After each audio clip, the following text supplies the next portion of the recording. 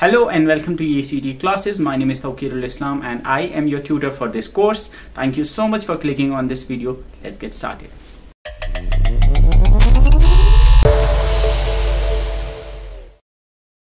Last lecture में कुछ चीज़ें जो हमारी रह गई थी और एक कॉन्फ्यूजन था एक्चुअली जो पूछा गया था by someone I think Shakeel और आई डोंट नो किसने पूछा था वो था कि डेटा और कमांड एंड इंस्ट्रक्शन इनमें क्या डिफरेंस है डेटा कमांड और इंस्ट्रक्शन में क्या डिफरेंस है अब यहाँ पे अगर मैं आपसे डेटा के बारे में पूछूँ तो यू डेफिनेटली नो डेटा क्या है। आपको पता है कि कोई वीडियो फ़ाइल है, वो भी डेटा है, कोई ऑडियो फ़ाइल है, वो भी डेटा है, कोई इमेज है, वो भी डेटा है, कोई डॉक्यूमेंट है, वो भी डेटा है। एक्सेल के अंदर किसी ऑर्गेनाइजेशन में भी स्कूल का डेटा है लाइक किस स्टूडेंट का क्या नाम है पेरेंटेज क्या है, उसकी कितनी फ़ी अभी बाकी है एंड ऑल ये सारी चीज़ें, ये भी डेटा है।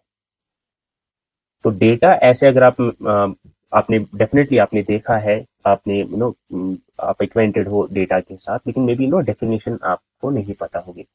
तो data is basically the representation of facts और कॉन्सेप्ट इसका मतलब है कि आपके अराउंड फॉर एग्ज़ाम्पल एक स्कूल है अब। ठीक। अब स्कूल है। स्कूल के अंदर वी हैव नो स्टूडेंट्स है टीचर्स हैं। ठीक है? अब there is a there are some facts like इस स्टूडेंट का ये नाम है, ये फैक्ट है। इसकी ये पेरेंटेज है, ये फैक्ट है, ये इस क्लास में पढ़ता है, ये एक फैक्ट है।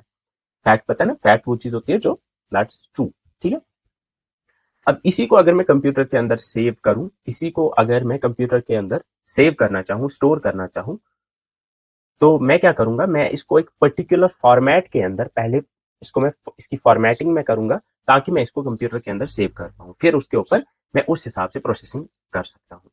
लाइक यूजली मे भी आपने देखा होगा एक्सेल शीट आपने डेफिनेटली देखी होगी। एक टेबल जिसमें हम बनाते हैं। फॉर एग्ज़ाम्पल हमें एक स्कूल के, के स्टूडेंट्स का टेबल बनाना है डेटाबेस बनाना है। तो उसमें मैं क्या करूँगा एक कॉलम में मैं नेम रखूँगा दूसरे कॉलम में पेरेंटेज तीसरे कॉलम में क्लास तो इस वजह से हम कह सकते हैं कि मैंने फैक्ट्स को एक पर्टिकुलर फॉर्मेट के अंदर पहले उस फॉर्मेट में लाया फिर उसको सेव किया। फिर मैं उसके ऊपर प्रोसेसिंग कर सकता हूँ। मे बी मैं सेलेक्ट उसमें से चूज़ कर सकता हूँ या उसमें से निकाल सकता हूँ कि लाइक यू नो कौन से ऐसे बच्चे हैं जो मे बी जिनका पेंडिंग फ़ी एक हज़ार से ज़्यादा है या कौन से ऐसे बच्चे हैं जो पर्टिकुलर एरिया में रहते हैं। तो उसके ऊपर मैं प्रोसेसिंग कर सकता हूँ या उसको मैं फिर कम्युनिकेशन में यूज़ कर सकता हूँ। I can send that file to some other person तो डेटा और इंफॉर्मेशन यहाँ पे दो टर्म्स हैं, लेकिन अगर आपने पढ़ी होंगी, बहुत जगह पे these are interchangeably use data और इन्फॉर्मेशन को हम इंटरचेंजेबली यूज़ कर सकते हैं।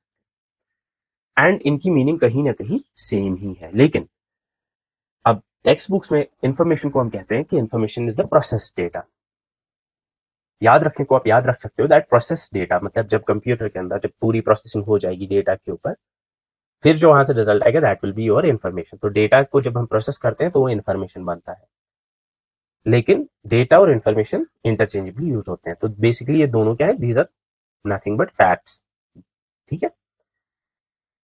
हम ऐसा भी कह सकते हैं कि data is a collection of facts whereas information puts those facts in context मतलब जब उनका एक, जिनको एक पर्टिकुलर कॉन्टेक्स्ट में आप प्रेजेंट करोगे तो वो इन्फॉर्मेशन बन जाती है। डेटा यूजली रॉ होता है अनऑर्गेनाइज होता है। फिर जब हम उस अनऑर्गेनाइज डेटा को ऑर्गेनाइज करते हैं, उसकी प्रोसेसिंग करते हैं तो वो इन्फॉर्मेशन बन जाती है। ये इतना इंपॉर्टेंट है नहीं, बस इतना आपको समझ आना चाहिए कि डेटा एग्जैक्टली है क्या। तो डेटा आपको पता है अब क्या है। आपकी मोबाइल फ़ोन के अंदर डेटा है यू नो वो क्या है? तो बेसिकली वो इन्फॉर्मेशन होती है, ठीक है? अब यहाँ पे एक चीज़ जो आपको समझनी है। That the difference between data and command अब जब आप कंप्यूटर के साथ इंटरेक्ट करते हो, आप कैसे करते हो? Most of the time what you do is आप माउस का यूज़ करते हो और आप कीबोर्ड का यूज़ करते हो। These are most widely use input devices जिनके थ्रू आप कंप्यूटर के साथ इंटरेक्ट करते हो। अब कंप्यूटर को जब, के साथ जब आप इंटरेक्ट करते हो तो आप दो तरह की चीज़ें उसको प्रोवाइड करते हो। You provided the data and the commands for example मैं ये डॉक्यूमेंट लिख रहा हूँ। मुझे ये लिखना है सारा जो इसमें लिखा हुआ है। मुझे एक वर्ड फ़ाइल के अंदर ही लिखना है। How will I do that मैं क्या करूँगा? आई स्टार्ट यहाँ से वर्ड फ़ाइल ओपन करके मैं लिखना स्टार्ट करूँगा। आई राइट मैं की प्रेस करूँगा। डी ए टी ए फिर स्पेस फिर बी एस फिर स्पेस फिर C O M M A N D इस तरह से मैं लिखता जाऊँगा। तो जो मैं कीबोर्ड के थ्रू ये लेटर्स टाइप कर रहा हूँ मैं बेसिकली कंप्यूटर को डेटा प्रोवाइड कर रहा हूँ। दिस इज़ डेटा अब यहाँ पे और एक चीज़ आती है that is command command for example अब अब अगर मैंने इसी कीबोर्ड पे कंट्रोल और एस दबाया साइमल्टेनियसली तो आप बताओ माइक्रोसॉफ्ट वर्ड में कंट्रोल एस से क्या होता है? कंट्रोल एस प्रेस करने से कंट्रोल एस प्रेस करने से जो फ़ाइल है वो सेव हो जाती है। तो अभी तक मैं लिख रहा था, मैं कीज टाइप कर रहा कीज प्रेस कर रहा था तो मैंने उसको डेटा कहा। लेकिन जैसे ही मैंने कंट्रोल और एस वाली की को दबाया तो मैं अब इसको कहता हूँ कि अब ये कंट्रोल एस डेटा नहीं है, बल्कि कंट्रोल एस अब कमांड है। तो कमांड क्या है? Command is basically an order एक ऑर्डर एक इंस्ट्रक्शन जो आप कंप्यूटर को देते हो कि ये पर्टिकुलर काम करना है। तो अब जो चीज़ आपको समझ आनी चाहिए, वो ये है कि जब हम कंप्यूटर के साथ इंटरेक्ट करते हैं तो हम दो तरह की चीज़ें प्रोवाइड करते हैं। एक है डेटा दूसरा है कमांड डेटा कुछ भी हो सकता है। डेटा टेक्स्ट हो सकता है डेटा यू नो नंबर्स हो सकते हैं। डेटा कुड भी स्पेशल कैरेक्टर्स या मैं जो अभी बोल रहा हूँ ना, मैं जो अभी बोल रहा हूँ, मेरी वॉइस जो है, ये कंप्यूटर के अंदर जा रही है तो ये एज डेटा जा रही है। लेकिन अगर मैं फॉर एग्ज़ाम्पल ये मेरी वॉइस अगर डेटा है आपने कभी किया आपने गूगल असिस्टेंट या मे बी जिनके पास आईफोन हो गए, उनने सीरी यूज़ किया होगा? वॉइस जो असिस्टेंट होता है वर्चुअल असिस्टेंट उसको हम कहते हैं कॉल दिस नंबर तो तब वो कमांड बन जाती है। तो डेटा और कमांड जो है, इनका नेचर सेम है।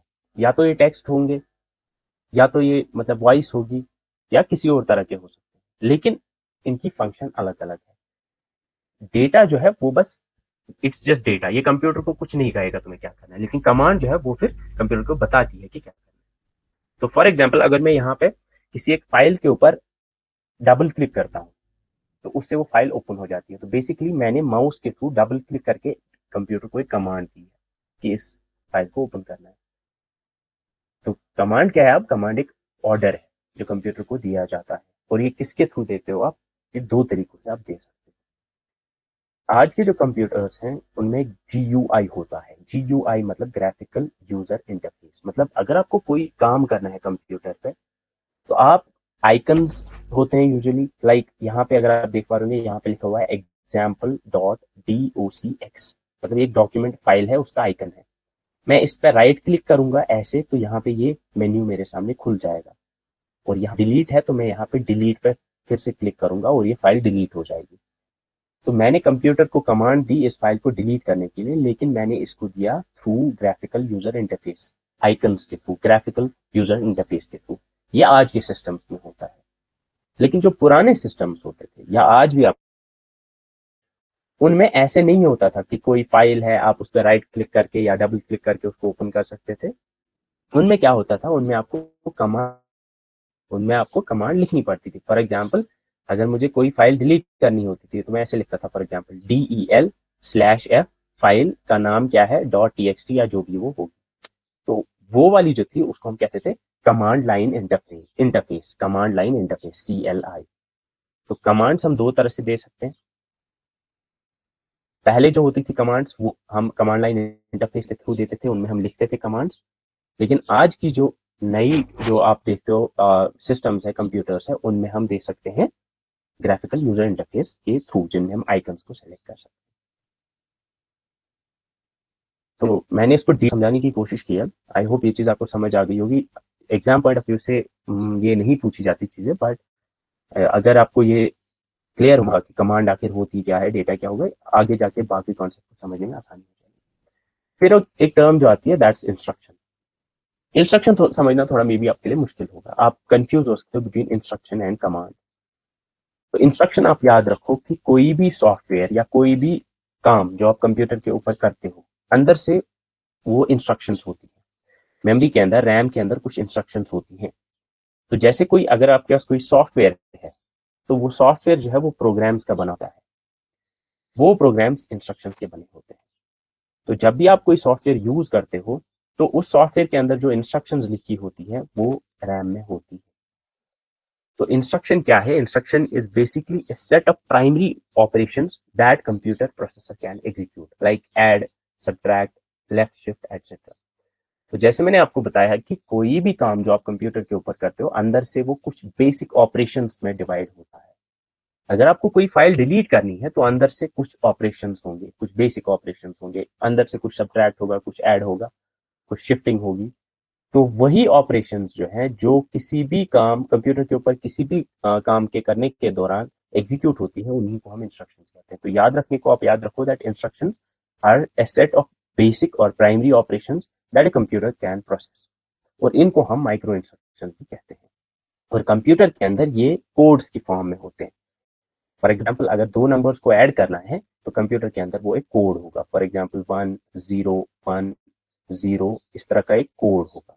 और कंप्यूटर को समझ आएगा सीपीयू को समझ आता है कि इसका मतलब है दो नंबर्स को ऐड करना और एक चीज़ यहाँ पे जो है दैट इज़ इंस्ट्रक्शन सेट अब हर एक कंप्यूटर का अलग अलग इंस्ट्रक्शन सेट होता है। इंस्ट्रक्शन सेट मतलब कि ये कंप्यूटर कौन कौन से ये बेसिक ऑपरेशन परफॉर्म कर सकता है। अगर कोई computer for example 200 instructions 200 primary operation perform कर सकता है तो हम कहेंगे इसके इंस्ट्रक्शन सेट के अंदर 200 इंस्ट्रक्शंस है। अगर उतना समझ नहीं आया, बस इतना याद रखो that instructions are a set of basic और primary operations that the computer processor can execute यहाँ पे आप ग्राफिक्स के थ्रू अगर समझोगे थोड़ा सा तो जैसे मैंने आपको बताया कि इनपुट डिवाइसेस के हम थ्रू हम दो चीज़ें प्रोवाइड कर सकते हैं कंप्यूटर को, या तो डेटा देंगे या कमांड देंगे। और जब ये डेटा और कमांड्स या मेन मेमोरी के अंदर जाते हैं, वहाँ पे सॉफ्टवेयर भी होते हैं तो वहाँ पे वो इंस्ट्रक्शन बन जाते हैं।